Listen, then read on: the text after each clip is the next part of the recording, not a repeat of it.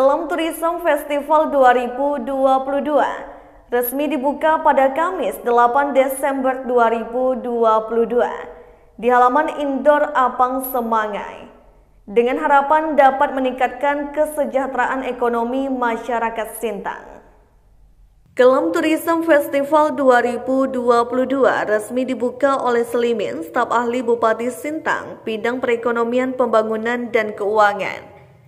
Event promosi wisata dan ekonomi kreatif tahunan ini digelar sejak tanggal 8 sampai 17 Desember 2022.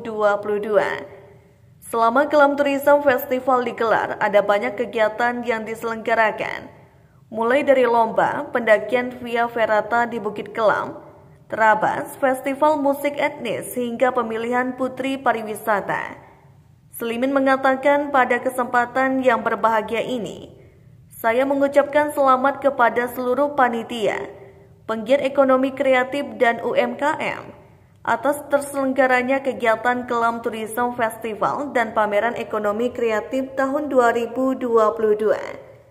Selimin menyebut Sintang memiliki kekayaan alam serta keragaman budaya yang dapat dijual untuk meningkatkan kesejahteraan masyarakat serta untuk meningkatkan PDRP. Daerah kita juga memiliki potensi yang besar untuk dikembangkan sebagai destinasi wisata, terutama potensi sumber daya alam dan keberagaman.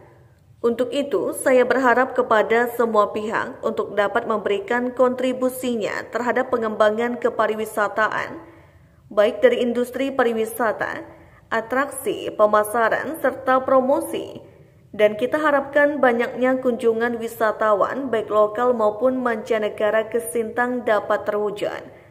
Harap Selimin saat membacakan sambutan Bupati Sintang. Menurut Selimin, ada tiga hal yang harus didapatkan dalam penyelenggaraan Kelam Tourism Festival dan pameran ekonomi kreatif ini adalah peningkatan kesejahteraan ekonomi masyarakat Sintang pada umumnya, dan masyarakat di seputar kawasan TWA Gunung Kelam. Selimin juga berpesan terpeliharanya secara terus-menerus adat istiadat dan budaya masyarakat Sintang, dan khususnya bawa syaraya di kawasan TWA Gunung Kelam, karena Taman Wisata Alam Gunung Kelam berada di kawasan konservasi. Tentunya masyarakat secara sadar bersama-sama dapat menjaga kelestarian lingkungan dengan menjaga sumber daya hati yang berada dalam kawasan. Tribuners, sekian berita untuk saat ini. Terima kasih telah menyaksikan. Jangan lupa saksikan berita update lainnya hanya di YouTube Tribun Pontianak.